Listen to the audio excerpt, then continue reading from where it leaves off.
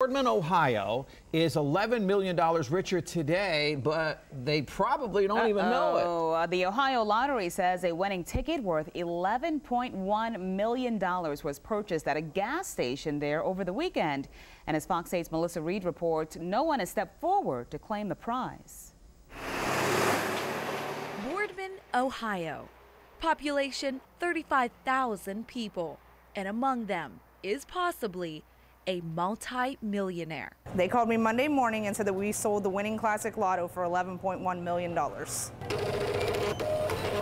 According to the Ohio Lottery, a classic lotto ticket purchased over the weekend from this Shell Food Mart in Boardman is worth a cool $11.1 million.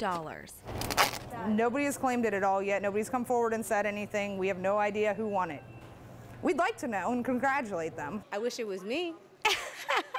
Wednesday morning, the winning ticket was the talk of the town. Actually, I come in this place quite often because I have a business down the street.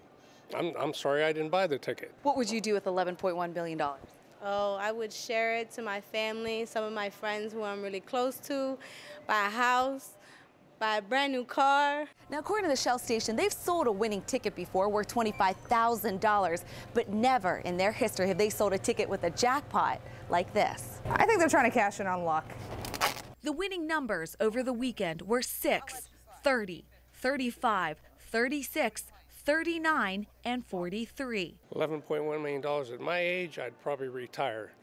Maybe buy a place in Florida and, and just go down there and settle down and fish.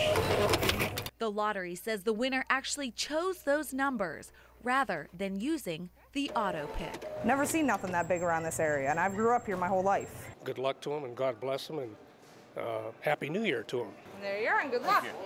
Have a Happy New Year. In Boardman, Melissa Reid, Fox 8 News.